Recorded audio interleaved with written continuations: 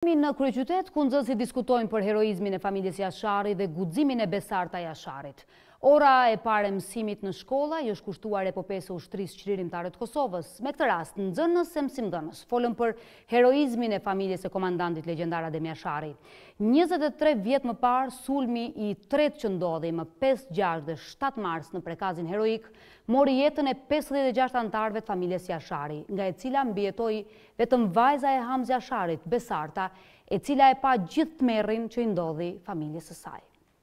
Historia e mbijetesës së Besarta Jasharit, si e mbijetuara e vetme e familjes Jashari, ishte njëra nga temat që nxënësit e klasës së tetë të shkollës Faik Konica diskutuan në kuadër të orës së parë që iu kushtua epopesë së UÇK-së për nder të pesë, gjashtë dhe shtatë marsit. Nxënësit e kësaj klase, që janë në moshën e Besartës kur kishte ndodhur e gjithë ngjarja, thonë se përjetimi i saj është shumë i dhimbshëm. Edhe ai veprim është shumë i guximshëm me pa krejt familjen tonde të vdekur edhe me u kon ti e vetmja që je e gjallë. Besoj që është ndjerë shumë e shumë keq kur ka pa të gjithë familjarët e mbytur. Për historinë e familjes Jashari u diskutua edhe në klasat më të ulëta.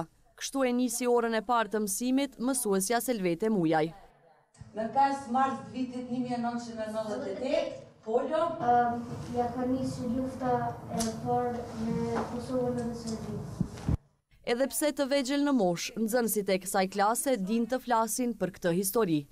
Më pesë, gjashtë, shtatë mars ka qenë lufta mes Kosovës dhe Serbisë. Serbia e ka sulmu familjen e Adem Jasharit edhe janë vra shumë anëtarë të familjes. Edhe kanë kanë vdekur pesëdhjetë e gjashtë persona dhe Besarta ka shpëtuar nga ajo luftë Tani është ajo e gjallë dhe e kujton gjithmonë këtë histori. Kjo histori besoj që do mbahet mend breza dhe breza. Ka zgjatur tri ditë lufta në në Prekaz dhe janë vrarë 56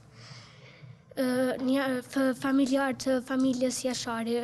Kanë sulmuar Adem Jasharin dhe 56 anëtarët e familjes së tij dhe vetëm një motër i ka shpëtuar që ka emrin Besarta. Sot, në të gjitha shkollat e Kosovës, ora e parë e mësimit i është kushtuar epopesë së UÇK-së.